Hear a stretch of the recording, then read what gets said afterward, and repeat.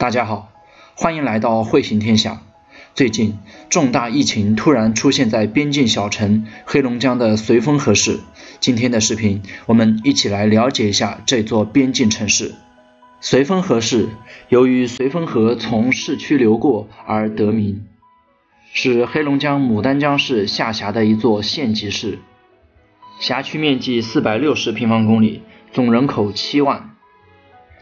绥芬河市位于黑龙江省东南部，距离牡丹江市一百二十公里，距离省会哈尔滨市三百八十公里。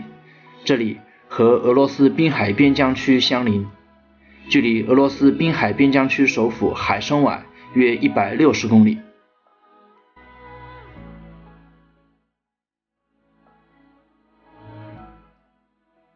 这里就是绥芬河市区。中俄两国的边境线从绥芬河市的东部经过，国境线以东就是俄罗斯滨海边疆区。绥芬河市下辖两个镇，分别是绥芬河镇和富宁镇。一八六零年，中俄北京条约的签订使绥芬河变成了边界地区。一九二六年，绥芬河正式设市。一九九二年被国务院批准为首批沿边开放城市。二零一三年，绥芬河市正式被国务院批复为中国首个卢布使用试点城市。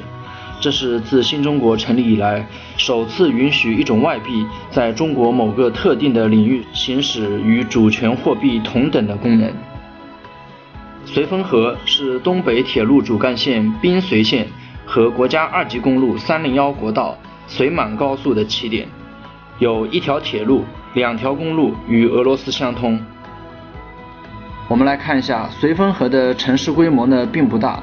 在城市的中偏北区域呢，这个地方是它的火车站，这个就是火车站的站房。这边是一个货运的场站。火车站北部的这条街呢，叫做乌苏里大街。从这里一直往东延伸，一直延伸到中俄边境，就是这个地方。在火车站以东约二点四公里的地方，还是在乌苏里大街的边上，这个地方呢，就是一个国际客运站。绥芬河市政府呢，位于市区的北部。在地图中部的这两个地方，分别是绥芬河博物馆和绥芬河游乐园。我们再来看一下最东部的中俄两国边境的绥芬河口岸，这就是绥芬河口岸。北部的这条大道呢，就是友谊大道。南部的这个建筑是国门旅游区。北部这个地方叫做互贸区俄罗斯商城，这里是中俄旅游文化市场，边上还有俄罗斯免税精品店。在友谊大道以北，这里是绥芬河世贸假日酒店。